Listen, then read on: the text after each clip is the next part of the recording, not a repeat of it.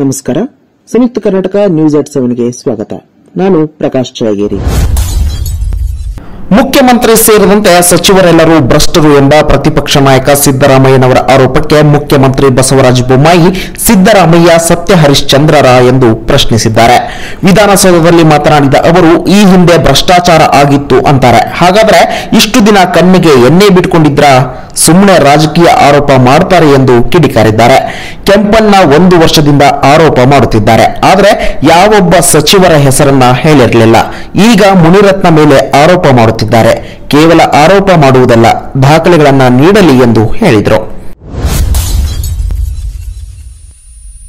ಗುತ್ತಿಗೆದಾರರ ಸಂಘದ ಮೇಲೆ ಮಾನನಷ್ಟ ಮೊಕದ್ದಮೆ ಹಾಕುತ್ತೇನೆ ಎಂದು ಸಚಿವ ಮುನಿರತ್ನ ಹೇಳಿದ್ದಾರೆ. ಬೆಂಗಳೂರಿನಲ್ಲಿ ಸುದ್ದಿಗೋಷ್ಠಿಯಲ್ಲಿ ಮಾತನಾಡಿದ ಅವರು, ಗುತ್ತಿಗೆದಾರರ ಸಂಘದ ಅಧ್ಯಕ್ಷ ಕೆಂಪಣ್ಣ ನಿನ್ನೆ ನನ್ನ ಹೆಸರು ಹೇಳಿದ್ದಾರೆ. ಅಲ್ಲದೆ, ರಾಜ್ಯ ಸರ್ಕಾರದ ಸಚಿವರು ನಲವತ್ತು ಪರ್ಸೆಂಟ್ ಕಮಿಷನ್ ಕೇಳುತ್ತಾರೆ ಎಂದು ಆರೋಪ ಮಾಡಿದ್ದಾರೆ. ಆದರೆ, ಇದುವರೆಗೆ ಯಾವುದೇ ದಾಖಲೆ ಕೊಟ್ಟಿಲ್ಲ.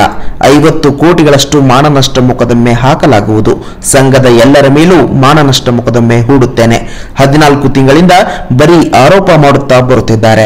ನ್ಯಾಯಾಲಯಕ್ಕೆ ಬಂದು ದಾಖಲೆಗಳನ್ನು ಕೊಡಲಿ ಎಂದರು. ಗುತ್ತಿಗೆದಾರರ ಸಂಘದ ಅಧ್ಯಕ್ಷ ಕೆಂಪಣ್ಣರನ್ನ ಮೆಂಟಲ್ ಆಸ್ಪತ್ರೆಗೆ ಕಳುಹಿಸಿ ಚಿಕಿತ್ಸೆ ಕೊಡಿಸುವುದು ಒಳ್ಳೆಯದು ಎಂದು ಕೃಷಿ ಸಚಿವ ಬಿಸಿ ಪಾಟೀಲ್ ಗರಂ ಆಗಿದ್ದಾರೆ. ವಿಧಾನಸೌಧದಲ್ಲಿ ಮಾತನಾಡಿದ ಅವರು, ದಾಖಲೆ ಕೊಟ್ಟರೆ ಅದರ ಬಗ್ಗೆ ಕ್ರಮ ಕೈಗೊಳ್ಳುತ್ತೇವೆ. ಕಂಪ್ಲೇಂಟ್ ಕೊಡದೆ ನ್ಯಾಯಾಂಗ ತನಿಖೆ ಆಗಬೇಕು ಅಂತಾರೆ. ಇಂತಹ ಮನುಷ್ಯನನ್ನ ಮೆಂಟಲ್ ಆಸ್ಪತ್ರೆಗೆ ಕಳುಹಿಸುವುದು ಒಳ್ಳೆಯದು ಎಂದರು. ಸ್ವಾತಂತ್ರ್ಯ ಸೇನಾನಿ ಟಿಪ್ಪು ಸುಲ್ತಾನ್ ಬಗ್ಗೆ ಮಾತನಾಡಿದ್ದೀಯಾ?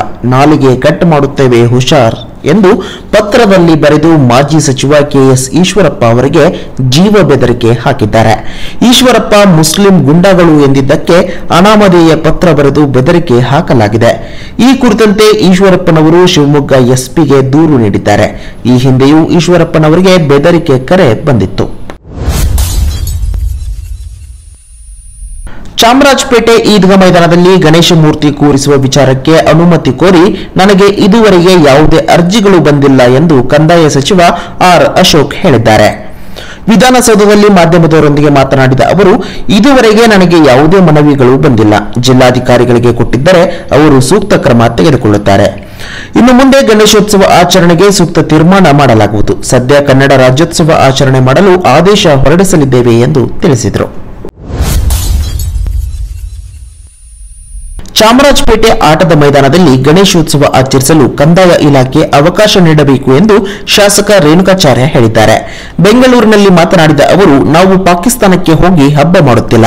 ಇಲ್ಲಿಯೇ ಹಬ್ಬ ಮಾಡುತ್ತಿದ್ದೇವೆ. ಗಣೇಶ ಹಬ್ಬ ಆಚರಿಸಲು ಬಿಡಲ್ಲ ಅನ್ನೋಕೆ ಆ ಜಾಗೆ ಯಾರಪ್ಪನ ಮನೆ ಆಸ್ತಿಯಲ್ಲ ಹುಷಾರ್ ಎಂದು ಶಾಸಕ ಜಮೀರ್ ಅಹಮದ್ಗೆ ಎಚ್ಚರಿಕೆ ನೀಡಿದರು.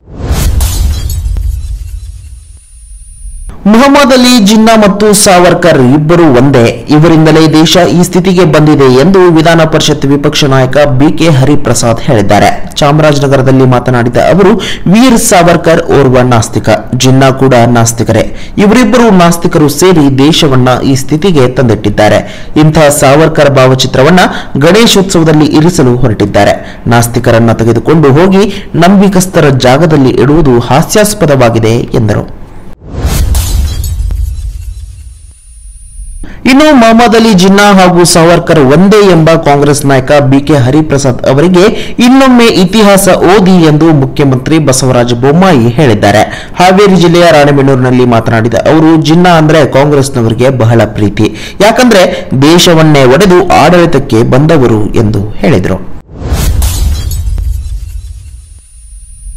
ಓವರ್ಟೇಕ್ ಮಾಡಲು ಹೋಗಿ ಕ್ರೂಸರ್ ವಾಹನವೊಂದು ಲಾರಿಗೆ ಡಿಕ್ಕಿಯಾಗಿ ಒಂಬತ್ತು ಜನ ಸಾವನ್ನಪ್ಪಿದ ಘಟನೆ ತುಮಕೂರಿನ ರಾಷ್ಟ್ರೀಯ ಹೆದ್ದಾರಿ ನಲವತ್ತೆಂಟರ ಶಿರಾ ತಾಲೂಕಿನ ಕಳ್ಳಂಬೆಲ್ಲ ಬಳಿ ಸಂಭವಿಸಿದೆ. ಬೆಳಗಿನ ಜಾವ ನಾಲ್ಕು ಗಂಟೆಯ ಸಮಯದಲ್ಲಿ ಚಿಕ್ಕನಹಳ್ಳಿ ಸಮೀಪ ಬಾಳಿನಹಳ್ಳಿ ಬಳಿ ಈ ಅವಘಡ ಸಂಭವಿಸಿದೆ. ಪ್ರಯಾಣಿಕರೆಲ್ಲರೂ ರಾಯಚೂರು ಮತ್ತು ಮಾನವಿ ಊರಿನವರಾಗಿದ್ದಾರೆ. ಕ್ರೂಸರ್ನಲ್ಲಿ ಇಪ್ಪತ್ಮೂರು ಜನ ಕೂಲಿ ಕಾರ್ಮಿಕರು ಕೆಲಸಕ್ಕಾಗಿ ಮಾನವಿಯಿಂದ ಬೆಂಗಳೂರಿಗೆ ಹೊರಟಿದ್ದರು. ಗಾಯಾಳುಗಳನ್ನು ಶಿರಾ ತಾಲೂಕು ಆಸ್ಪತ್ರೆಗೆ ದಾಖಲಿಸಿ ಚಿಕಿತ್ಸೆ ನೀಡಲಾಗುತ್ತಿದೆ. ಈ ಕುರಿತಂತೆ ಕಳ್ಳಂಬೆಲ್ಲ ಪೊಲೀಸ್ ಠಾಣೆಯಲ್ಲಿ ಪ್ರಕರಣ ದಾಖಲಾಗಿದೆ. ಇನ್ನು ಅಪಘಾತ ಸಂತ್ರಸ್ತರಿಗೆ ಪ್ರಧಾನಿ ನರೇಂದ್ರ ಮೋದಿ ಸಾಂತ್ವನ ಹೇಳಿ ಪರಿಹಾರ ಘೋಷಿಸಿದ್ದಾರೆ.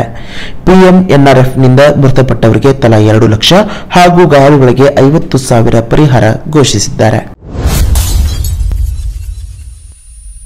ಇನ್ನಷ್ಟು ಬರವಣಿಗೆಗಳು ವಿಶೇಷ ಲೇಖನಗಳು ನಿಮಗಾಗಿ ಕಾಯ್ತಾ ಇರ್ತವೆ. ಓದ್ತಿರಲ್ವಾ?